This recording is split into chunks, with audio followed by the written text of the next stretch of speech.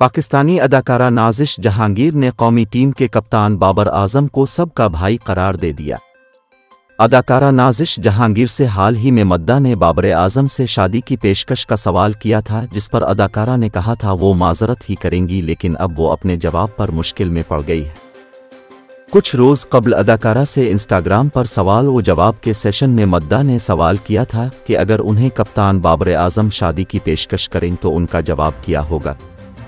जवाब में अदाकारा ने कहा था कि माजरत ही करूँगी।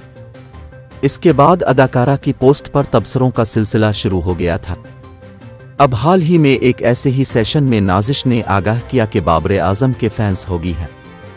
अदाकारा ने लिखा कि बाबर भाई, हम सब के भाई हैं, लेकिन फैंस दिल खोलकर मनफी पहलू नुमाया कर रहे हैं। मेरा क्रिकेटर्स से कोई लेना देना नहीं मेरे लिए, सब भाई हैं। खामखा पीछे पड़ गए।